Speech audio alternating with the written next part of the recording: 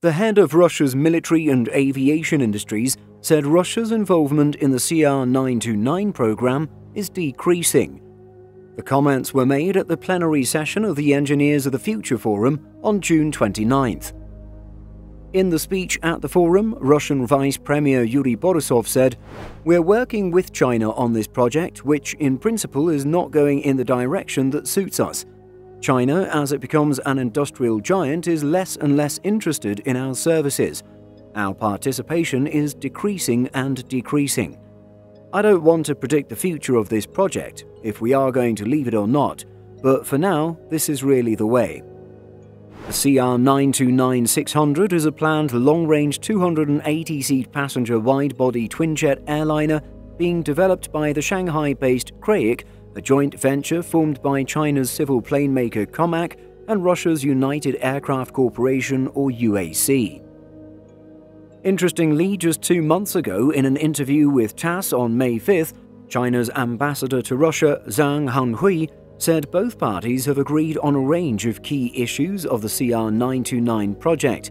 At the time, Zhang said, Creation of the CR929 wide-body long-range airplane is one of the critical joint projects of our countries.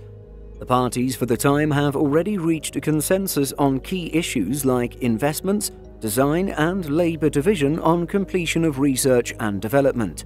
Joint studies and developments are progressing smoothly and sustainably. Another high-ranking Russian official, Denis Manturov, Russian Minister of Trade and Industry, also said only two weeks ago that the project was being redesigned to not rely on Western components, saying, The CR929 is underway, but taking into account the new inputs in line with the restrictions that exist today in terms of cooperation, which was formed by Chinese partners with the involvement of Western manufacturers, this now it's impossible. So you will have to spend time restructuring approaches using only Russian and Chinese manufacturers. Currently, no information could indicate why Russia changed its standpoint in a short time. Russia and China agreed in general to jointly develop a wide-body aircraft in 2012, and COMAC and UAC signed an MOU in 2016, witnessed by both countries' leaders Xi and Putin.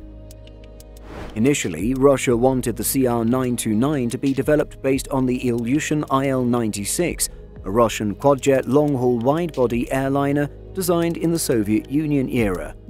China strongly disagreed with the idea, instead proposing a twin-engine wide-body airliner much like the Airbus A330 or Boeing 787, aiming to challenge the Airbus and Boeing duopoly.